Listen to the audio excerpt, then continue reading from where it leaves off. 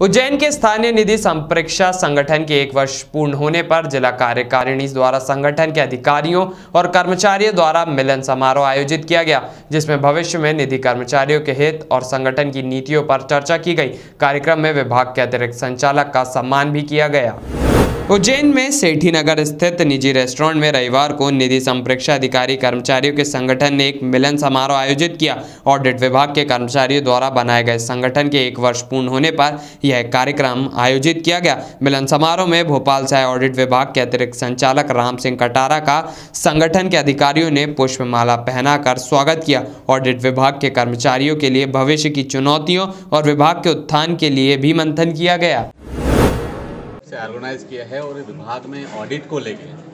इस वक्त क्या चुनौतियाँ हैं या क्या है इसको परिचर्चा रखी है तो मैं उम्मीद करता हूँ ये एक अच्छा इस परिचर्चा से एक अच्छा आउटकम निकलेगा और विभाग के ऑडिट के पर्पज से स्थानीय निकायों के जो है पारदर्शिता आएगी और क्वालिटी में सुधार होगा। इसी पर्पज से यह कार्यक्रम रखा कार्यक्रम सफल रहे, ये मेरी शुभकामनाएँ हैं। यह स्थानीय निधि संपरीक्षा अधिकारी कर्मचारी संघ, जो 8 जनवरी 2020 को गठित हुआ था। उसका वार्षिक अधिवेशन है, जिसमें हमने मुख्य अतिथि के रूप में हमारे विभाग के विभागीय सर्वोच्च Shri R S Katara sir, Bhopal से मुख्य अतिथि के रूप में हैं, और संभागीय अध्यक्ष श्री समर सिंह परमार की अध्यक्षता में यह आयोजन किया गया है।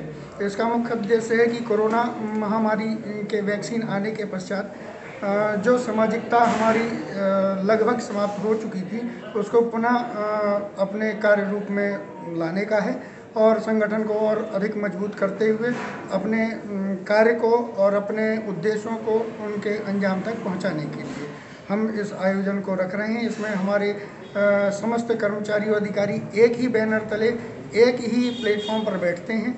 इसकी विशेषता ये है कि हमने यहाँ पर किसी भी प्रकार के पद सोपानिक व्यवस्था को नहीं रखा है और एक अ, समान मंच उपलब्ध कराया है सभी के लिए ताकि वह अपनी बात कह सकें और अपनी समस्याओं का समाधान हम एक साथ बैठकर कर सकें। खबरों में बने रहने के लिए ग्रामीण भारत टीवी को सब्सक्राइब कीजिए और बेल आइकॉन दबाना ना भूलें।